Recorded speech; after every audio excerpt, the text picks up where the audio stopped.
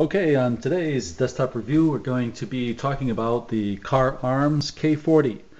Though this review would be applicable to the K9, the 9mm version instead of the 40 Smith & Wesson version. And also they have a smaller and larger frame size and slide size of this gun called the uh, T40 and the T9.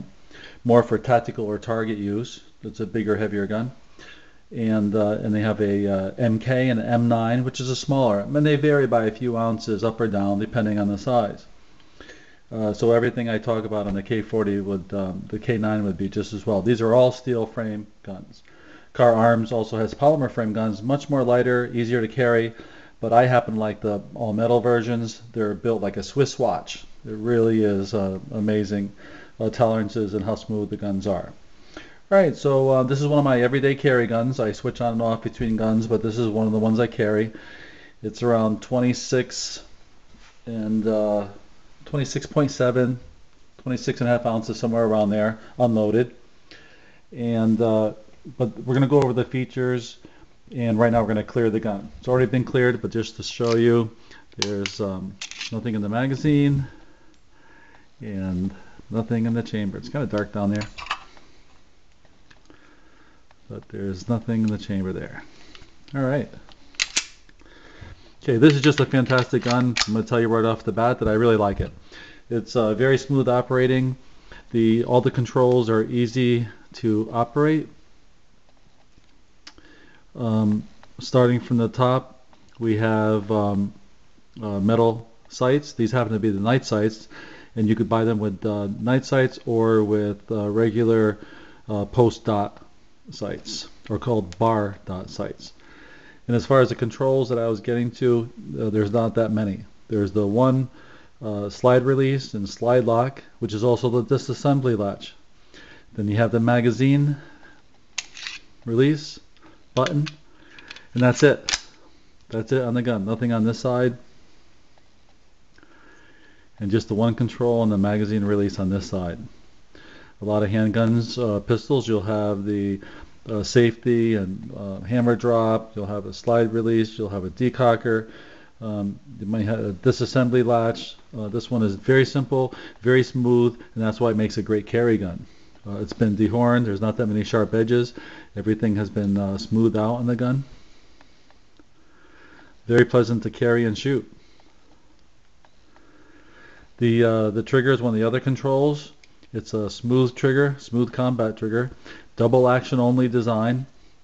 So you rack the slide, put it around in the chamber. You've got a, a long double action pull.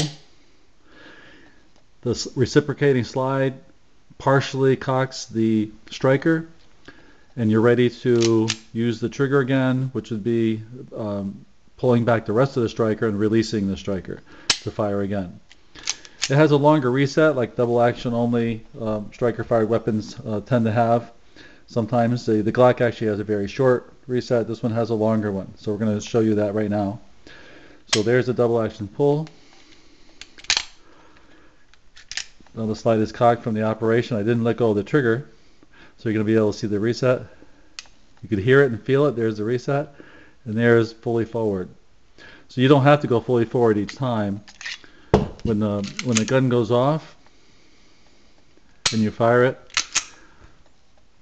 you can release it and fire it again from there. So you can fire uh, fairly fast. You know, you probably get uh, four or five seconds, uh, four or five shots per second with uh, probably 0.2 split times, 0.225 split times, something like that. Uh, the grips are, on the gun are a uh, textured soft polymer wraparound grips. There's a K on it for K arms. And K-Arms has been around for uh, for about 30 years or so, and very innovative design. They they took the um, the feed ramp and they offset it. They offset the feed ramp to the side to make room for the trigger and the camming mechanism to put this uh, 40 caliber um, cartridge in a very small package. Um, it's only 0.94 inches wide at the widest point, which is um, the slide, and that's what a lot of gun companies aspire to is having that uh, under one inch, which a lot of them aren't able to do. And this is under an inch, The grips might be a little bit wider than it. As you can see, it is over an inch, but the slide part itself, which might be inside the waistband or whatever, is going to be very slim. This originally came with um, the bar dot sights, and I recently uh, sent to uh, online the Kahr website. And I ordered a, a, front sight for the slide, and I actually installed it myself with the, vise and so forth and the punch. And and uh, it wasn't easy, but it wasn't really difficult with the right tools, and I was able to get that night sight. Now it's um, very bright at night, and I just wanted the one. I was spending so much on accessories and guns, I really didn't want to spend more money on a rear sight, which I really didn't need. Put the put the uh, flash sight picture of the of the front sight on target, and bang, you're ready to go. No need to line it up with the rear sights. A lot of people actually uh, darken their rear night sights just so they can use the um, uh, the, the uh, front sight. All right, so and those are around 30 bucks, six dollars shipping, so about 36 dollars, and uh, I had my front sight. And uh, speaking of that, be careful if you do order your own sights, uh, whatever kind you do order. They have many to order from on the Kahr Arms website, and uh, there are two different slide designs it's called the new old style and new style slide. And I think somewhere around 2005 they made the switch over because when I called, my gun was made in 2005. They said I had to look inside the uh, the slide to see which style I had. It turns out that the old style slide has the dovetails are wider than the new style. They made more narrow dovetails, so the sights won't fit one to the other. And I happen to have the the old style slide. And when I take the gun apart, I'm going to show you what the uh, how you can tell from the inside of the slide which one you have. The magazines uh, hold six rounds of 40, and I believe the uh, the nine holds seven. And when you have bigger or smaller versions of this gun, you're going to have one less up or down depending which way you're going in size. Stainless steel, very rugged, very easy to push button, and, the uh, magazine flies right out. So that's a positive. Like I said, there are uh, not too many uh, edges or protrusions, very smooth, very easy on the draw. The recoil is stout on the 40 on this gun. Some guns are softer shooting. I gotta say it wasn't the softest shooting 40 I fired, but the neoprene, I mean the uh, polymer, soft polymer does help to dampen the uh, recoil. Very easy gun to operate. The uh, slide is um, fairly easy to rack back. These uh, Serrations are very grippy, though not sharp, and very easy to rack to slide. Whatever method you use, whether slingshot or saddle uh, method, they're, they're all very easy to rack to slide on a 40, which is impressive. So very easy to manipulate the, the weapon. As you can see, it has an external extractor. Uh, with a large claw, it works very well. This is the other side of the, the pin.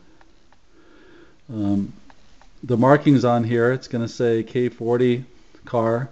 Kahr Arms, Worcester, Massachusetts is mentioned here. No warnings about reading the manual or anything like that, refreshingly.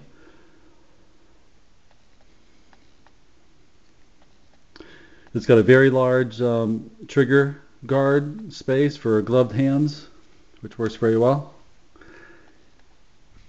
Right now, the holster that I'm using happens to be a Don Hume Jit Slide it's not easy to put the belt through these small loops.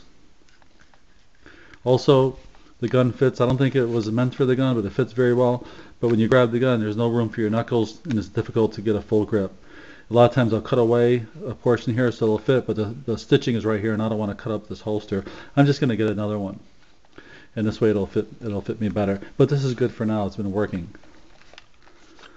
In ammunition I've been carrying in here, um, varying uh, 40 caliber uh, Hornady critical duty or critical defense. Right here we have um, Speer Gold Dots. One of the choice of law enforcement professionals because of its um, stopping power, penetration, and so forth. It's a it's a stout round, and it comes in different uh, weights. I think 165 and 180 grain. You can get gold dots. Highly recommended.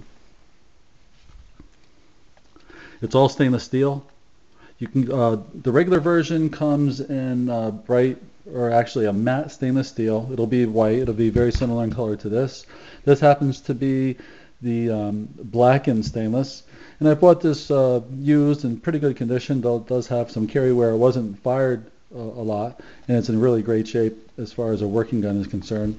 And since it has marks on it, a little bit of wear, I'm not afraid to use it and uh, do uh, training of uh, presentations out of the holster and so forth. So I'm not going to baby, you know, baby the gun. It's a, it's a working gun, so I don't mind that at all. I was going to change the grips, but these work so well and they're slim and they're not really um, grabbing onto my clothing when I'm uh, carrying. But if I find the right grips, I may replace those. And grips can be had from uh, Kahr Arms as well. If you go to the website, you'll see all different choices on accessories uh, for these guns. All right, so now we're going to take this apart. You got to make sure it's clear. And they're not the easiest guns to take apart, like Glocks and polymer guns where there's a slide hole back and then you disconnect it. This has to be, the slide has to be held back under the tension of the spring in order to push the disassembly um, notch out. So here's the notch, and we're going to bring that to the space underneath here, and you're going to see that right there, that that's um, the spot where you're going to push that through. But it's a really tough thing. As a matter of fact, we're going to have to um, do one of my tricks here and we're going to have to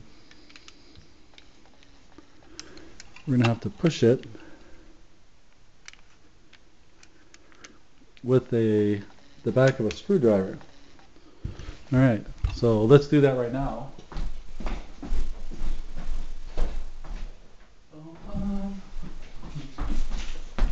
All right, here we go. So what I like to do is retract the slide right where the notch would be, right there. Flip it over, and I'm going to take that little button and get a little bit of a little bit of a rack. Tap, and that pops right out. Instead of pushing on it, giving a little rap is really the easiest way to do that. Once you do that and it comes back to this position, you want to pull the trigger, always in a safe direction, and that slide will come right off. Okay, let's move the M out of the way. Magazines, give room here.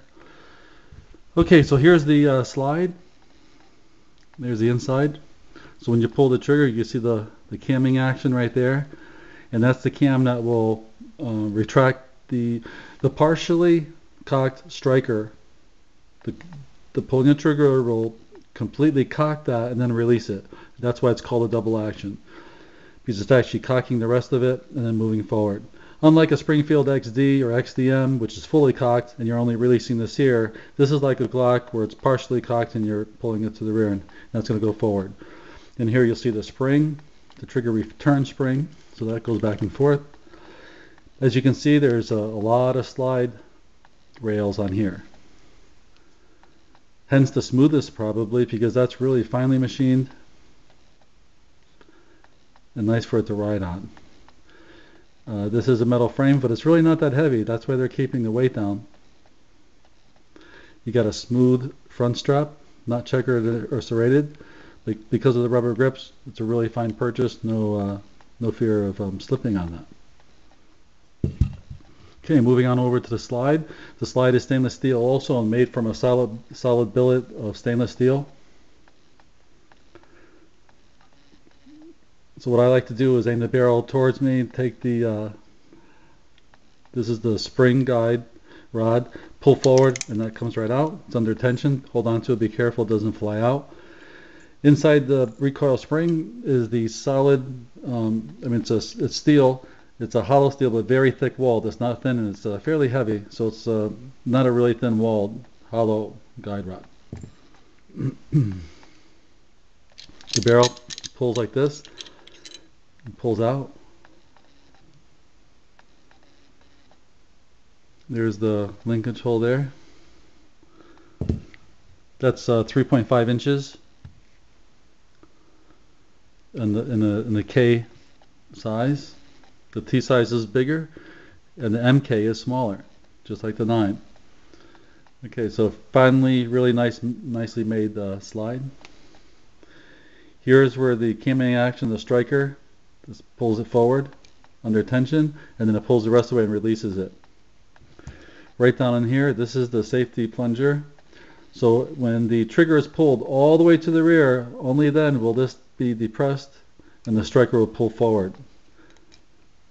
So when you release that, that's going to uh, pull, allow it to go forward. Otherwise, if it's dropped on the muzzle and so forth, it won't go off. And most uh, handguns have that. Um, striker or hammer um, block. Okay, now I was going to show you how you can tell an old slide from the new slide design. All right, so this is an old slide design, and we know that because in this section right here, the striker block, it's called, right on that striker block, right, there'll be a dimple right in the steel, like a round crevice, almost as if a drill was touched on it and, and a hole was made there. I believe here as well, there'll be holes. there'll be two holes, one here and one here. And this has not holes, but more of a dimple or indentation in the metal maybe a 32nd inch deep or something like that. So here and here, this is the old style. So when I ordered my night sight, I made sure it was an old style front night sight. And uh, so now we're going to put it back together. a little bit tricky because it's a it's actually a tight fit. So you got to wiggle a little bit and drop that in. Then we take our uh, guide rod, put it inside the spring, and make sure that the closed end of the spring goes onto the guide rod and the open end goes into the, the portion of the slide right here that contains the uh, guide rod and spring. Be careful you got a good purchase on this so it doesn't slip out. Aim it in a safe direction. Pull and then put the um, guide rod into the hole while controlling it and then slip it down into the notch on the barrel. Be careful and make sure that it's uh, there. Then you take the uh, slide and put it into the grooves just like that. Pull to the rear. And one like to do right here. Now there's a trick to this as well. You can't just bring it back and put the guide rod in through the hole because um, the linkage, this here has to go into the linkage in the barrel, which is back here. So what you want to do is move it a little bit, put the pin in where the linkage is in the barrel first. There it is right there. And then you want to retract it the rest of the way until the notch hole is right over where the pin is. Once it's there, you can push down on it. And then wiggle it until it goes into place. There's a hole here where this part goes in. And that's it. Now we're going to test it. Rack the slide, pull the trigger. That works great. Hold down the trigger, retract the slide again, check the reset, and it works just fine and now you're good to go, back in business. That's how you would take it apart, field stripping for cleaning, repairs, or whatever. All right. Okay, now as far as performance, this is an accurate gun, reliable gun, and uh, this pistol just exceeded all my expectations. It's it's built like a, a fine watch or a Swiss watch because it is just so smooth. Everything is so smooth. The, the release of the magazine, the feel of the trigger, when you rack the slide, the, it's glass smooth. And it's just a really, really nice mechanism. And you could just feel the quality when you rack the slide. They're polymer versions, you don't get quite that feeling as you do the old metal versions of the Kahr Arms uh, handguns. And that's just uh, exquisite. Um, you could do rapid fire strings. Uh, it is 40, so it's more powerful, a little bit harder to control on target for distant targets double action only, but it's meant as a self-defense and a combat weapon, and so combat accuracy is fine. So a really nice uh, gun. And nine is going to be less jumpy, you know, for uh, for the recoil and the snappiness of the um, of the barrel getting back on target. Uh, but still fully controllable, a great carry gun. The magazines are very slim, so these are very easy to um, uh, put on the uh, in the pocket or put on your belt and the carry spares. These are really light and slim, almost like a 1911 in miniature. So these can go on your belt, two of those or one of those throw it in your pocket, and you're going to have six plus one and six, and you're going to have 13 rounds, you know, ready to go of a 40 caliber uh, powerhouse. And then 40 is a powerful round. You can get up to 550 foot-pounds on some of those cartridges, and that's a lot. You know, 550 is a is a lot of foot-pounds of energy for a for a handgun. And there you have it. There's my review of the Kahr Arms K40 handgun. Thanks for watching.